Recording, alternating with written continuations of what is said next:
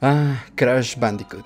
Un juego que personalmente considero que marcó a toda una generación, o por lo menos a mí sí que me marcó. Crash Bandicoot fue ese personaje que de repente salió de la nada, nadie lo vio venir, pero fue una contraparte muy importante en lo que sería la mascota de Nintendo. Personalmente yo fui algo que me gusta llamar niño play o niño PlayStation. Yo fui parte de esa generación que cuando debutó el PlayStation 1, el original, yo era muy pequeño y no tenía básicamente nada de Nintendo más que el Super Nintendo, no tenía en ese momento yo un Nintendo 64 y lo más cercano que pude estar a los primeros videojuegos 3D fue con el PlayStation 1. Creo que es algo que pudimos compartir muchos y gracias a eso, bueno, yo también crecí con Crash Bandicoot. Aunque bueno, recuerdo que básicamente mi PlayStation lo tuve muchísimo después. De hecho, creo que no faltaba mucho para que llegara el PlayStation 2. Yo básicamente tenía como menos de 5 años. Todavía tengo recuerdos de eso.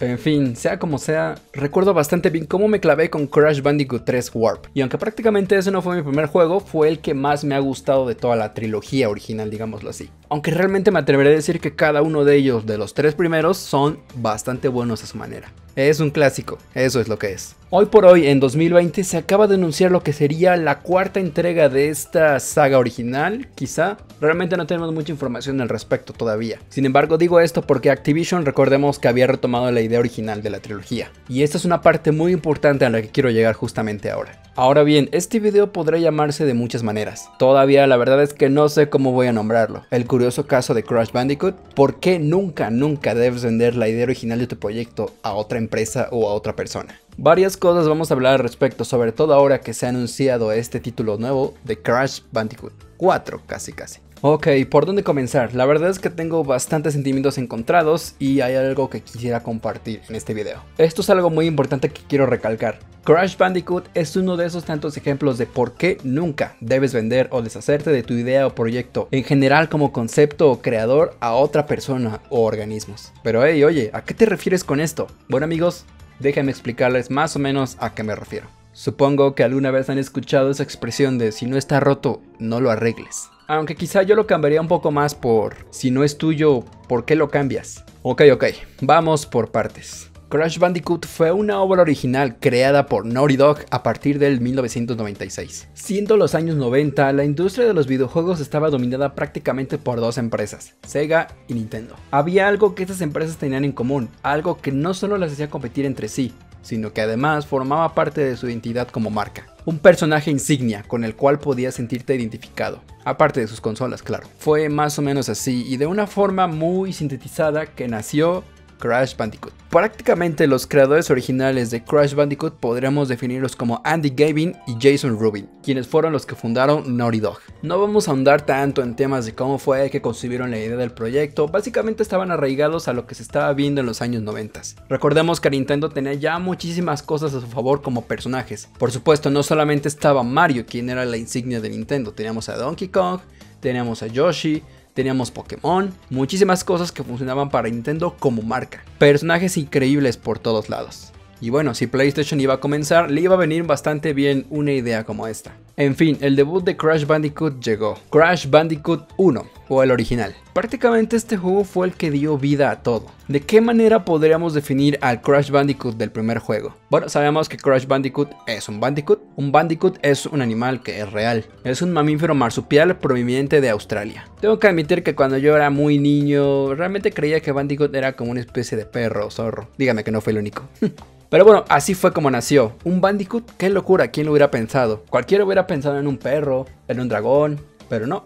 Ellos eligieron un Bandicoot, un marsupial de Australia. Y ahí es donde todo explota y funciona. Bueno, la idea de Crash Bandicoot en general era bastante interesante. Creo que Crash Bandicoot se despegaba un poquito de lo que era el clásico Mario de Nintendo. Sabemos que Mario es algo que es muy family friendly.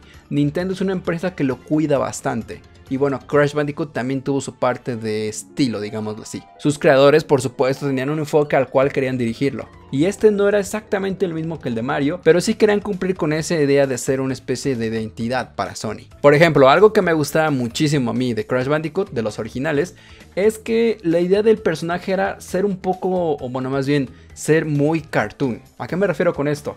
Yo creo que se asemejaba bastante de la idea de lo que era en ese tiempo los Looney Tunes, más o menos caricaturas de ese estilo. Cartoons que eran un poco más salidos del contexto de la realidad, no eran tan apegados a lo que es real como Mario, que es un fontanero, que si bien también es un dibujo, no es un personaje que consideremos que hace cosas que están fuera de su alcance como un humano. Crash Bandicoot por otro lado sí que lo hace. De hecho, en esencia creo que la idea detrás de Crash era hacerlo un personaje que fuera un tanto divertido, combinado con un poco de sátira, comedia, y ese estilo en particular que caracterizaba a los dibujos animados de hace tiempo. Y esto lo podemos ver reflejado en la forma en la que Crash se mueve dentro de su mundo en la forma en la que ataca a los enemigos, en los propios enemigos a veces e incluso en las veces en las que Crash muere.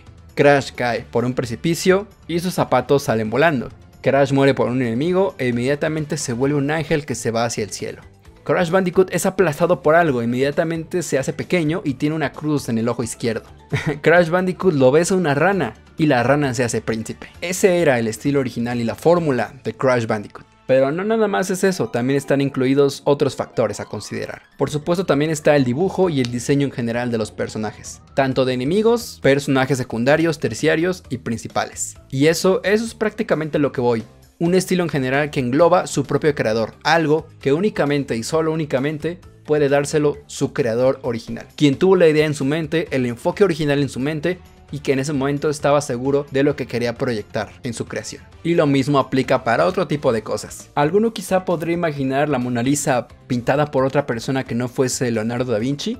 Probablemente sí, pero es muy probable que la idea original de la obra hubiese sido otra totalmente diferente. Sí, es muy probable que quizá alguien más pudo haber pintado la capilla Sixtina y no hubiese sido Miguel Ángel. Y sí, muy probablemente hubiera hecho algo totalmente interesante, pero en definitiva esa hubiera sido una percepción totalmente diferente. Y todo gracias a que era un creador diferente. Y todo esto amigos se refleja increíblemente igual en el mundo de los videojuegos y créanme, creo que esto lo hemos visto muchísimas veces aquí. Bueno y también, ¿por qué no? En el mundo de los negocios incluso. Cuando la idea original de un creador se va a otra fuente, la percepción cambia totalmente. El enfoque, las ideas, todo es totalmente diferente y se maneja de una manera que no es como la pensaba el creador original.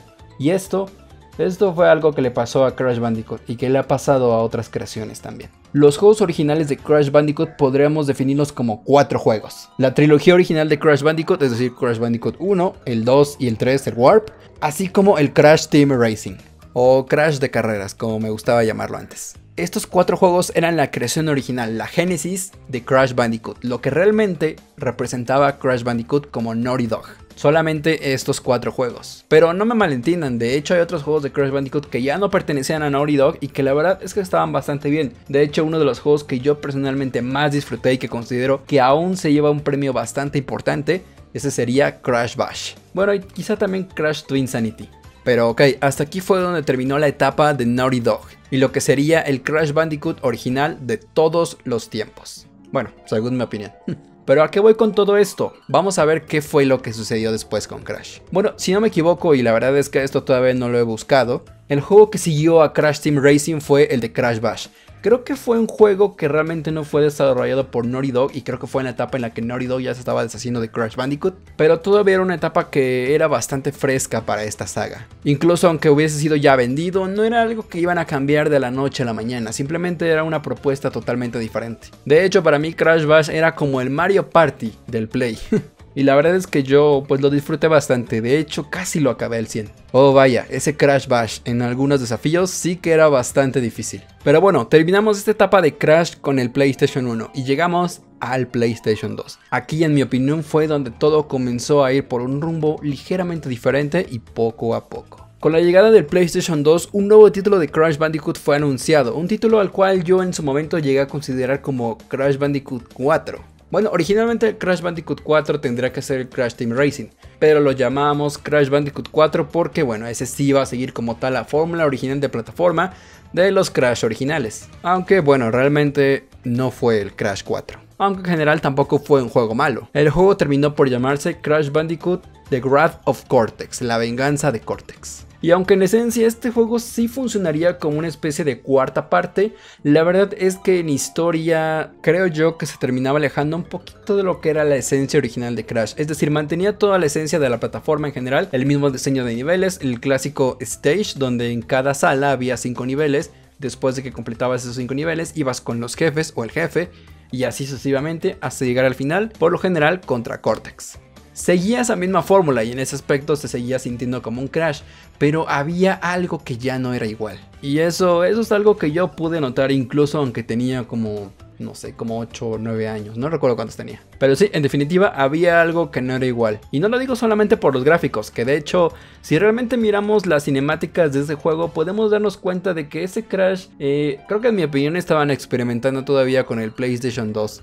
los aspectos de los personajes en general, por ejemplo, de Cortex y demás, estaban bien, pero eran un poco extraños, ya que los vemos ahorita, ¿no? Es decir, solamente miren las expresiones de Cortex y otros personajes comparándolos con Crash Bandicoot 3 Warp y comparándolos con una consola que se supone que era de mejor generación y poder solventar mejores gráficos. La idea de las caras y facciones era muy distinta a la que yo había visto en la saga original. ¿Recuerdan cuando les dije que la idea original del concepto detrás de Crash era que se pareciera un poco a los cartoons y dibujos animados de antes, donde todo era un poco extravagante, fuera de realidad y con expresiones muy curiosas? Bueno, todo eso ya no estaba. Y a ver, aquí hay un punto importante, no es como que por esa razón el juego haya sido malo, de hecho no lo era.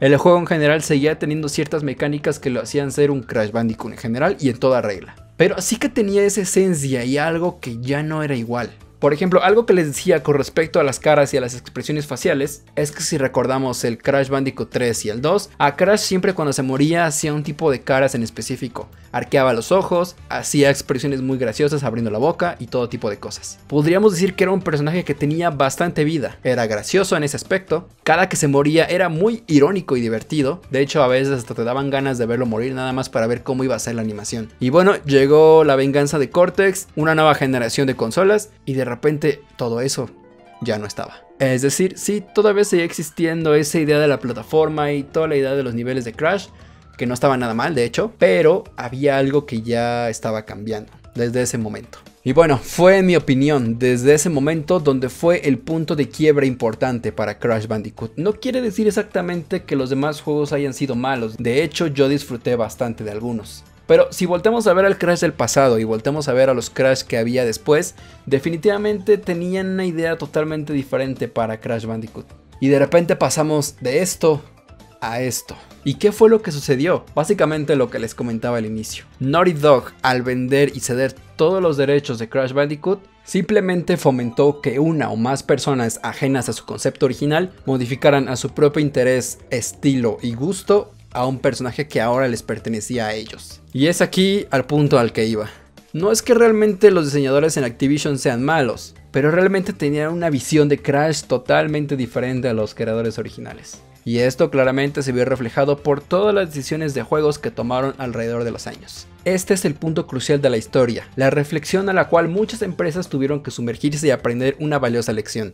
Si no era tuyo, ¿para qué lo cambias? Y bueno, todos sabemos lo que sucedió después con el juego de Crash of the Titans. Pero hey, quiero hacer un breve paréntesis aquí. He de decir que personalmente yo nunca jugué ningún Crash of the Titans, por lo tanto no voy a decir que sea malo ni nada. De hecho, en su momento yo realmente quise jugarlo por el simple hecho de que se trataba de un Crash. Pero el punto que quería tomar más que nada es el cambio radical que le querían dar a la saga. Y a ver, no me parece mal que hayan querido innovar con este Crash, pero creo que fue en este juego, si no me equivoco, donde no se pudo alcanzar el mismo éxito ya del que había gozado antes. Creo que muchos disfrutaron de este juego y seguramente si yo hubiera podido jugarlo también lo hubiera hecho. Pero quizá el problema de este Crash fue el de intentar cambiar significativamente varios aspectos en general de la saga y de los personajes principales. Desde Tiny que sinceramente me hacía un poco de ruido cuando lo vi, pues en mi mente siempre estaba presente el otro Tiny musculoso y con esas sonrisa caricaturizada con los colmillos. O por ejemplo con Aku Aku. Podremos decir que en general era un buen juego, pero bueno, tenía un humor un poco diferente. No lo sé, ustedes díganme en los comentarios qué opinan. Y a partir de ese momento no se volvió a saber de Crash más nada.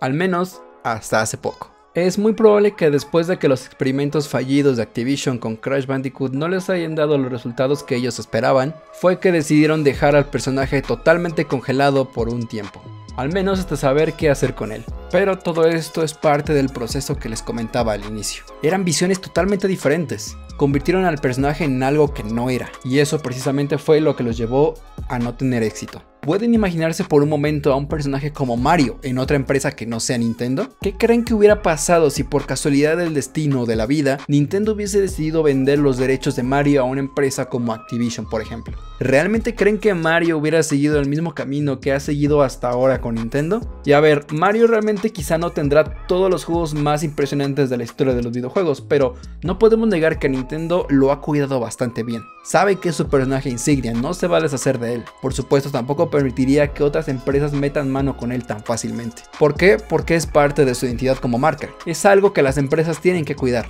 Y claro, tampoco significa que cualquier otra empresa no hubiera hecho un buen trabajo o hubiera podido hacer cosas interesantes con él si les perteneciera. Tal vez existirían propuestas interesantes, pero probablemente serían diferentes al Mario que conocemos el día de hoy. Obvio todo esto es teoría. Y aunque en efecto Naughty Dog no dependía totalmente de Crash Bandicoot, ellos eran libres realmente de venderlo si querían o no. Pero el hecho de hacerlo muchas veces da como resultado hacer que las visiones cambien.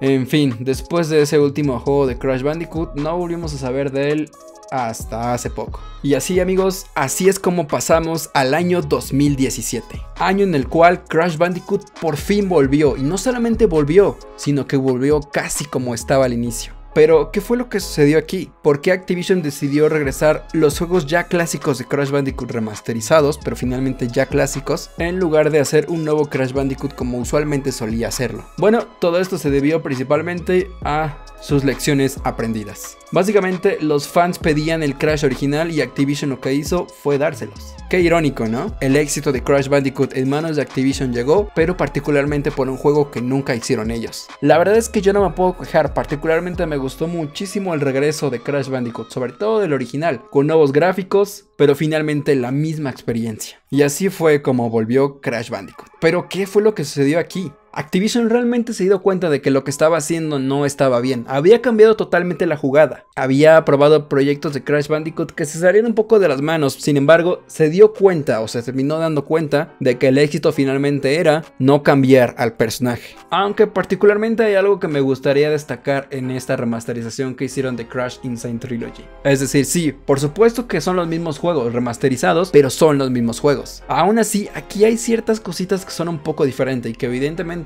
delatan cómo es que el enfoque de los creadores no es el mismo. Objetivamente, porque no son Naughty Dog, los creadores originales. Pero esto no es malo, de hecho realmente los diseñadores en Activision hicieron un muy buen trabajo con las animaciones, así como tratar de mantener fielmente todos los detalles de las creaciones originales. Aunque hay unos puntos que me gustaría destacar de todo esto. En YouTube, por ejemplo, hay videos recopilatorios de todas las animaciones de muerte de Crash Insane Trilogy. Estos podemos compararlos con las animaciones originales, las del PlayStation 1. Podemos ver que en efecto se mantiene la fidelidad del producto. Pero claro, hay ciertos detalles que son diferentes. Por ejemplo, adaptando este Crash a los tiempos modernos, este Crash Bandicoot nuevo es, digámoslo así, un poco más realista. Recuerdan que les dije que el Crash antiguo original tenía una tendencia por ser un estilo cartoon. Bueno, este Crash Bandicoot lo quisieron hacer un poquito más original. El pelaje, es decir, sigue siendo un personaje ficción, un personaje de caricatura que no existe como tal de esta manera. Pero por ejemplo, hasta incluso en la manera de morir cambiaron ciertos detallitos. Por ejemplo, miren estas animaciones de muerte. Díganme si realmente sienten lo mismo una con otra. Ambas son iguales técnicamente pero ¿cuál es la que les gusta más? ¿Cuál consideran que es más irónica o más graciosa? No es que las dos estén mal, de hecho las dos están bastante bien, a su manera, claro. Pero aquí es el punto al que quiero llegar. El enfoque es algo diferente, porque, repito, ¿qué hubiese pasado si Leonardo da Vinci no hubiese sido la persona que pintó a la Mona Lisa y en lugar de él hubiera sido cualquier otro pintor? El resultado habría sido bastante bueno, por supuesto, pero totalmente diferente, uno de otro, porque los estilos son diferentes. Y así mismo sucedió con Crash Bandicoot. Pero no me lo tomen a mal, de hecho a mí me gustó muchísimo el hecho de que regresara como tal Crash Bandicoot. A pesar de que las cosas no sean iguales, porque bueno, no se puede pedir exactamente que todo quede igual como antes, los tiempos cambian y eso no está mal. Me da bastante gusto que Activision haya aprendido su lección y se haya dado cuenta realmente de lo que estaba haciendo mal. Más allá del factor nostalgia de Crash Bandicoot, creo que se dieron cuenta realmente de lo que necesita la gente, o al menos de lo que no debes hacer una vez que adquieres un personaje o una idea en general que no es tuya. Hoy por hoy regresamos al inicio. Se ha anunciado un nuevo Crash Bandicoot, lo que promete ser un Crash Bandicoot 4, un sucesor espiritual tal vez. ¿Qué tantos enfoques diferentes vamos a ver? Recordemos que es a partir de este momento en que ya no tenemos ningún otro tipo de inspiración para hacer un Crash. El Crash original terminó en Crash Bandicoot 3 Warp. Y bueno, Crash Team Racing ya fue remasterizado y la verdad les quedó bastante bien. Pero un Crash Bandicoot 4, eso es algo totalmente nuevo. Y quizá tomar como referencia Crash Bash o la venganza de Cortex no sea necesariamente lo más fidedigno posible. Así que bueno, solamente el tiempo lo va a decir. ¿Volverá Crash Bandicoot a la cima con un juego totalmente original y nuevo? Vamos a ver cómo resulta todo esto. Si realmente Activision sigue o no sigue las pautas de antes. Por supuesto, tiene que haber cosas nuevas. Eso es totalmente evidente. Y no quiere decir necesariamente que vaya a ser malo. De hecho, quiero creer que en esta ocasión van a conservar en la medida de lo posible todo el producto original o lo más apegado posible al producto original. Por supuesto, mejorando ciertos detallitos, pero sin cambiar mucho de Crash. Pero bueno, como les dije, todo esto es cuestión de enfoques. Y básicamente amigos, esto es todo lo que les quería comentar. Este es el por qué nunca, pero nunca debes vender tu idea, tu visión a otra persona. Porque esa persona aunque tenga buenas intenciones, tendrá una visión totalmente diferente a la tuya. Quién sabe por qué caminos irá a parar tu creación. Otro caso curioso en este aspecto podría ser Sonic, aunque bueno, técnicamente Sonic nunca fue vendido como tal, sigue perteneciendo a Sega, pero bueno, ya hemos visto todo lo que le ha pasado a Sonic. Ah, pero bueno amigos, hasta aquí este video. Es un análisis bastante sencillo, no estoy andando en muchos detalles técnicos, simplemente estoy dando una opinión de lo que me ha parecido la evolución de Crash Bandicoot a través del tiempo. No sé si realmente estén de acuerdo conmigo, no, quizás simplemente para ustedes esos detalles técnicos del diseño y las caras interesantes que hacía Crash antes, cómo se moría, las animaciones, a lo mejor son aspectos que para ustedes no son muy importantes, a lo mejor en Crash Insane Trilogy ustedes disfrutaron bastante la animación de muerte que hicieron ahí. Les gustó muchísimo el diseño, no necesitan que Crash vuelva como era antes. Personalmente es algo que yo recuerdo de cuando era muy muy niño. Y esa idea de Crash creo que nunca se me va a abandonar. Antes de terminar me gustaría decir que en general con este video no quiero decir necesariamente que siempre que una IP pase a manos de un tercero signifique que vaya a ser horrible, o bien que ellos no puedan hacerlo mejor. Hay mucha libertad y muchas mentes creativas y también existen varios casos de éxito. Podríamos hablar de varios al respecto como por ejemplo Minecraft pasando a pertenecer a Microsoft después de haber sido vendido, pero también es cierto que hay muchos otros casos como el de Rare, pasando a manos de Microsoft también. Y no es que Rare sea malo ahora, pero es el mismo punto que había querido exponer. Es que una vez que Rare fue vendido, su enfoque terminó por cambiar totalmente. Oh, Conker creo que es uno de esos casos también, aunque creo que después de todas esas experiencias, quizá Microsoft terminará por encontrarle un buen lugar al Conker que conocíamos. Ya lo veremos. Ay, por cierto, la verdad es que yo estoy emocionado por Crash Bandicoot. Este audio lo estoy grabando después de haber visto el tráiler y la verdad es que se ve bastante prometedor. Después de haberlo analizado se pueden ver cosas nuevas que por supuesto tienen que haber, pero de hecho no se ve mal realmente. Pinta para ser un juego divertido y que aún con innovaciones mantendrá un poco la línea que siguieron con Crash Insane Trilogy o al menos en algunos momentos. Así que sí, estoy emocionado por comenzar este juego de Crash Bandicoot 4. It's about time.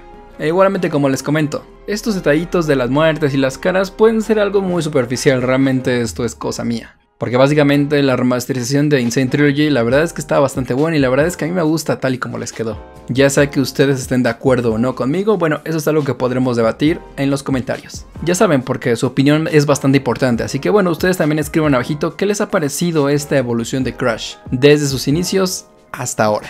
Bueno, por lo pronto seguiremos esperando este nuevo juego de Crash Bandicoot. Pues bueno amigos, espero que les haya gustado este pequeño análisis. Díganme aquí abajito su opinión, por supuesto, esto es muy importante. Y nos vemos en un siguiente video de lo que sea. Hasta la próxima.